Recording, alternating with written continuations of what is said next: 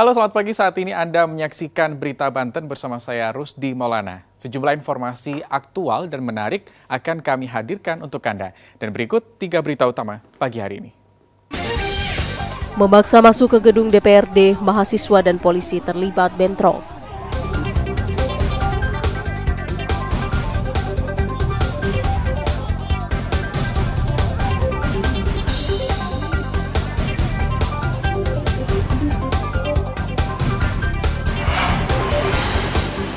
Tertangkap basah mencuri, pelaku babak belur dihakimi masa.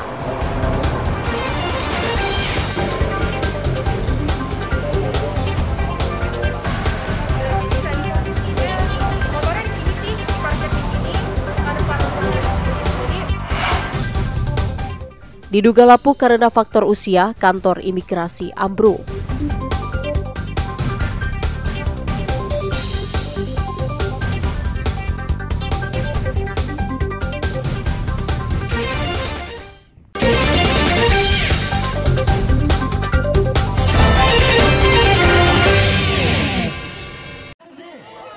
Unjuk rasa mahasiswa di depan gedung Dewan Perwakilan Rakyat Daerah Kabupaten Pandeglang berakhir ricuh. Kericuhan terjadi saat puluhan masa yang tergabung dalam aliansi pemuda Oktober tersebut memaksa masuk ke gedung. Meski sudah berhasil membuka gerbang, namun polisi berhasil menghalau masa yang ingin merangsek masuk ke dalam gedung DPRD. Mahasiswa menyoroti kepemimpinan Bupati dan Wakil Bupati Irna Narulita dan Tanto Warsono Arban dinilai gagal menjalankan tugasnya sebagai kepala daerah. Kepemimpinan pasangan Irna Tanto selama dua periode menjadi catatan merah dalam menjalankan birokrasi. Mahasiswa menganggap kesehatan, infrastruktur, dan pendidikan di Pandeglang sangat tertinggal dibanding kabupaten dan kota di Provinsi Banten. Itu dari Aliansi Gerakan Pemuda Oktober menilai bahwa masih maraknya soal komersialisasi birokrasi yang ada di Kabupaten Pandeglang, terkhususnya di instansi Dinas Pendidikan dan Dinas Kesehatan. Kami mendorong kepada Bupati Irana Rulita bersama Tanto agar bagaimana caranya dalam memimpin Kabupaten Pandeglang untuk menghapuskan soal komersialisasi yang ada di beberapa instansi tersebut.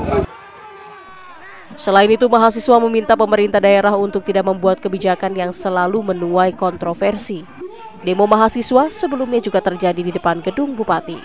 Ariel Maranus dan Andre Sopian melaporkan dari Kabupaten Pandeglang. Puluhan warga di desa Kaduberem, Kecamatan Pebuaran, Kabupaten Serang membakar wahana permainan pasar malam yang berada di tanah lapang desa. Api dengan cepat membesar karena banyak bahan-bahan yang mudah terbakar. Sejumlah pedagang di sekitar lokasi langsung berusaha mengemas barang-barang dagangan mereka agar tidak ikut terbakar. Puluhan warga diduga sengaja membakar wahana pasar malam ini setelah anak berusia 11 tahun tewas akibat tersengat listrik di salah satu wahana permainan. Meski sempat dibawa ke rumah sakit namun korban meninggal dalam perjalanan.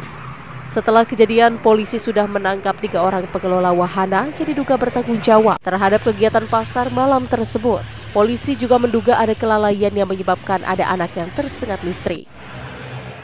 Korban tidak menyadarinya tersetrum karena korban memegang pagar pembatas wahana yang berbahan besi yang diduga teraliri listrik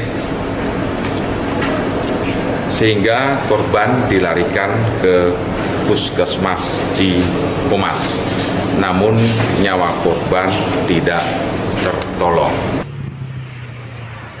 jika terbukti bersalah, polisi akan menjerat para tersangka dengan pasal tentang kelalaian yang menyebabkan kematian dengan ancaman lima tahun penjara.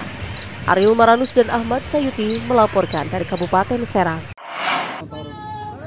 Tertangkap basah sedang mencuri motor di depan klinik hewan di Jalan Pondok Jaya, Kecamatan Pondok Aren, Tangerang Selatan, dua pelaku curanmor babak belur dihakimi masa.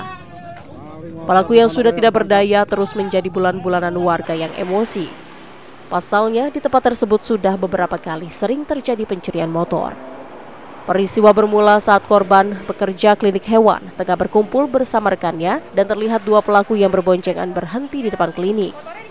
Satu pelaku langsung turun dan mendekati sepeda motor korban yang terparkir. Sementara pelaku lainnya berjaga di atas sepeda motor.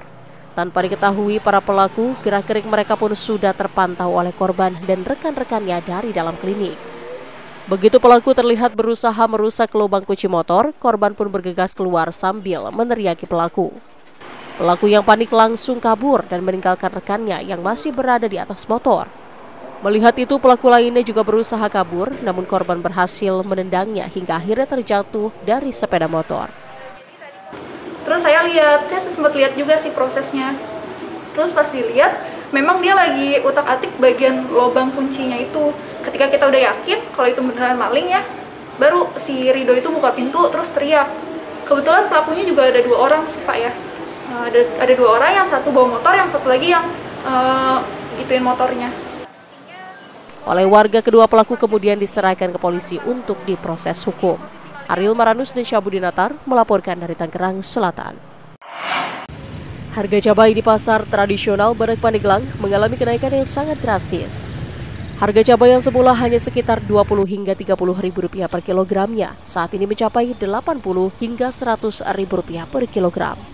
Pantauan di pasar tradisional Badak Pandeglang, selain harga cabai oranye, kenaikan harga juga terjadi pada cabai keriting yang naik dari harga 30 ribu menjadi 80 ribu rupiah per kilogram. Cabai rawit hijau dari yang sebelumnya Rp28.000 sekarang dijual Rp80.000 per kilogram. Selain cabai, harga bawang merah juga ikut naik dari harga Rp20.000 kini naik menjadi Rp32.000 per kilogram. Menurut salah satu pedagang, kenaikan harga sudah berlangsung selama tiga hari yang lalu dan penyebab kenaikan tersebut menurut pedagang karena stok yang terbatas akibat kemarau yang berkepanjangan. Agar tidak merugi, para pedagang terpaksa mengurangi stok jualannya. Kalau cabai oren itu sekarang naik. Harganya kemarin itu masih bisa ngejual kan antara 20 sampai 28 ribu. Sekarang kita harus ngejual 100 ribu. Hmm, terus untuk harga cabai ini? Cabai keriting juga sama naik. Kemarin masih bisa ngejual sekilo 30, sekarang 80 ribu. Sekilo. Untuk cabai hijau juga ya yang tamanan yang kecil-kecil itu juga sama. Kemarin masih bisa ngejual 28.000 sekarang nggak bisa. Salah seorang warga yang juga memiliki usaha ayam geprek mengaku harus mengurangi pembelian cabai untuk kebutuhan jualannya dari satu kilogram turun menjadi seperempat kilogram dalam sehari. Belinya sekilo. Hmm, terus dengan harga uh, tinggi ini ada pengurangan atau gimana bu? Paling belinya seperapat. Oh, hmm. dikurangi ya bu ya? Dikurangi. Hmm. Terus uh, apa dengan kenaikan harga ini mengeluh nggak sih bu? Banget. Diperkirakan kenaikan harga ini masih akan terjadi dalam beberapa pekan ke depan, mengingat musim kemarau belum tahu kapan akan berakhir. Ariel Maranus dan Andre Sopian melaporkan dari Kabupaten Padeglang.